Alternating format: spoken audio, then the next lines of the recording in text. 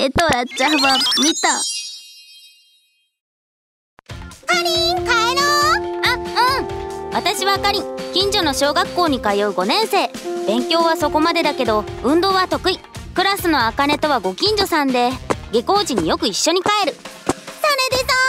この前担任の柊先生が女の人と仲良さそうに歩いてるの。隣のクラスの子が見たみたいでさ。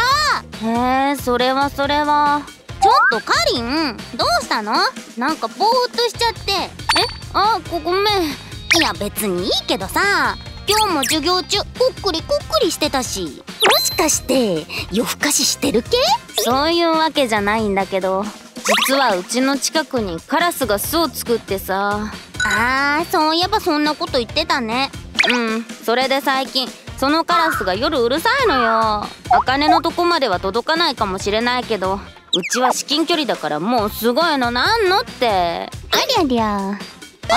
てかカラスって夜行性だっけ？あんまそういうイメージないけど。調べたけど基本的には中高生みたい。でもほらうちの近くにはカラス姉さんがいるから。あああの人か。カラス姉さんというのはうちの近所に住んでいる女性だ。どうしてそんな名前で呼ばれているかといえばカラスに餌をやってるからであるカラス姉さんが餌付けするようになったのっていつぐらいから？だいたい1週間前？だからタイミング的には合ってるのよね。夜カラスがうるさくなったタイミングと。でねあの人がカラスに餌をやり始めるのがだいたい夜みたいでさ。そのせいかカラスたちも夜型。っていうか超朝型になっちゃってて。尋常じゃないくらい早起きして未明からカーカー騒ぐってことか。ご愁傷様。わかる。もう人事だと思って。いやいや人事じゃないよ。実際私だって迷惑被ってるし。というとほらカラス姉さんが餌やってるせいでここらのカラスってやけに人慣れしてるでしょ？そのせいでこの前歩きながらパン食べてたらカステラ折れちゃったのよ。ついでに頭ついばまれて髪の毛何本か持ってかれちゃったし。もう校長先生みたくハゲたらどうしてくれんのよ。ご愁傷様。あ人事だ。噂をすれば。ん？あ本当だ。ああやって未明と昼にそれぞれ餌をやってるみたいなのよね。最近じゃあの人が歩いてるだけでカラスが集い始めるぐらいよ。餌付け成功ってやつね。カラスもすっかり信用しきっちゃって。あの人があげたらドッグフードとかでも食べるんじゃない？何にせよこのままだと困るわよね。誰かあのカラス姉さんに注意してくれたらいいのに。かりんのお父さんやお母さんは？苦情とか言ってないの？一回言おうと思ったらしいけどさカラス姉さんたらカラスの餌やり以外では家の外にほとんど出てないみたいで。え？仕事とかは？さあね前まではしてたと思うけどとにもかくにも今じゃインターホンを押したって梨のつぶてみたいでさそんな風にだんまり決め込まれるとこっちとしてもちょっと不気味じゃない？だから以降は注意もできなくてさカラス姉さんが餌やりやめてカラスの生活リズムを変えるみたいなこともできないわけだ。そういうこと。せめてカラスの巣だけでもどうにかしたいんだけどね。ヒナたちが巣立つのを待つしかないんじゃない？それでもぬけの殻になった巣を撤去するぐらいでしょ。できることなんて。えー、悠長じゃない？それ。いやだってカラスってめちゃくちゃ頭がいいらしいじゃん。もし無理やり巣を壊したらたたってくるかも。怖いこと言わないでよ。バイバイ。この時の茜の脅しに屈したわけではないが私たち家族はカラスの巣の撤去を少しだけ待つことにした。そもそもうちの父はそこまで巣の撤去に前向きじゃなかったからだ。マイホームを建てることの苦労はお父さんもわかるからな。ここら辺は田舎で近所の家とも距離があるしまあちょっとカラスたちが騒いだところで大丈夫だろう。もう。そうこう言ってるうちに巣は静かになった。茜とあんな会話をしてからだいたい2週間後ぐらいのことだ。その頃になってお父さんがようやく重い腰を上げた。別のカラスが移り住んでは困るからという理由らしいがもぬけの殻になった巣を撤去するというそこまではいいとしてさどうして私も手伝わなきゃなの？いいじゃないか。何事も経験だ。経験。ほら殺虫剤くれ。撤去の前にダニとか駆除しなきゃだから。ああお母さんに手伝ってもらえばいいのに。お母さんは休日は寝てたいタイプの人なんだ。せっかくの日曜なんだしゆっくりさせてあげなさい。はーい。よしこんぐらいでいいか。じゃあかりんゴミ袋くれ。巣を入れるからさ。どうぞ。ありがとう。おっと。もう何してるの？悪い悪い。とりあえずほうきとちりとり持ってくるよあ落ちた巣には触るなよ。スプレーしたとはいえバッチリから。言われなくても触りません。にしてもカラスの巣ってこんな風になってるのか。えー、っとこれは木の枝でこれはハンガーかな。なんかすごいな。あなんだろうこの金色の糸みたいなやつ。あほら触るなって言ったのに。お父さんこの金色の糸って何だと思う？ん？なんだろう多分あれじゃないか？人の髪の毛。え髪の毛？ああほら。この辺のカラスって人慣れしてて頭とかつついてくるだろ？そのついばんだ髪が巣を作る中で混ざったとかさ。えー、だとしたらなんか汚い。そうじゃないとしても汚いよ。ほら手を洗ってきなさい。はーい。ん？なんだろう。外が騒がしい気がする。ん？あごめん。ちょっとそこの君。えな何ですか？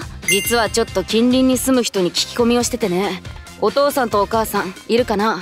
はい。パリ？ーンってあれ？警察の方？あちょうどよかった。すみません。エトラシュの徳佐というものですけど今近隣住民の方からお話を伺っておりまして。何かあったんですか？ええまあとりあえず娘さんのいないところでお話しさせていただいても。かりん部屋に戻ってなさい。あ手洗いうがいはちゃんとするんだぞうん。そうしてお父さんは警察の人と何やら話し込んでいた。内容は聞こえなかったけどどうにもその晩のお父さんの顔は青ざめて見えた。翌日。うーん。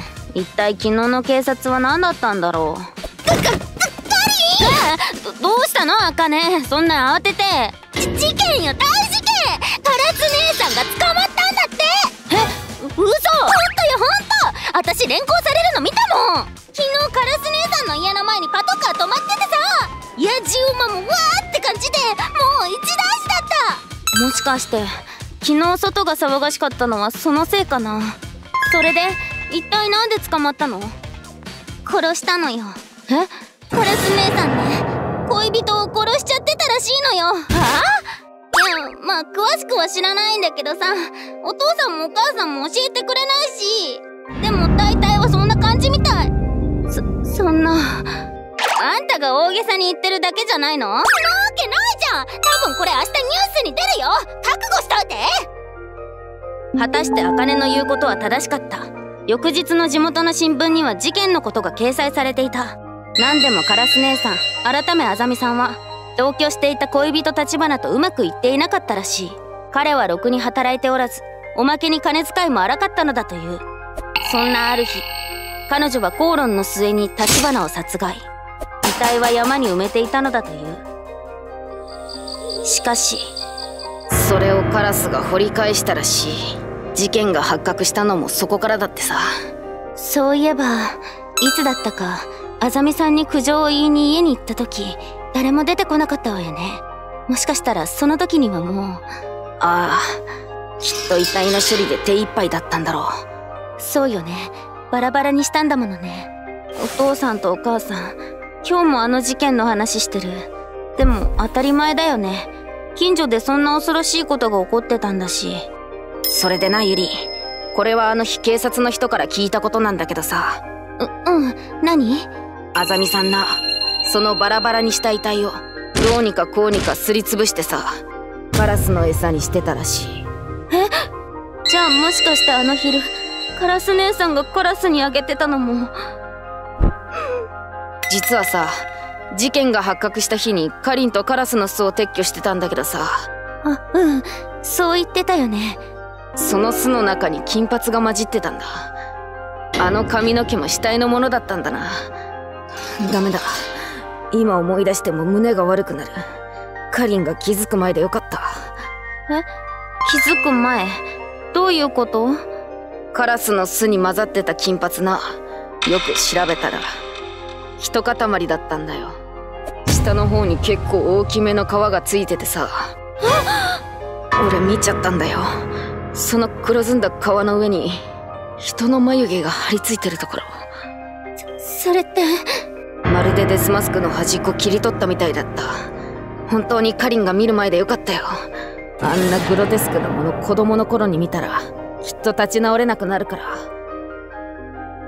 それからしばらく私は鳥の巣を見るのが怖くなった実物はもちろん図鑑の写真もどんな得体の知れないものが混ざっているのかわからないから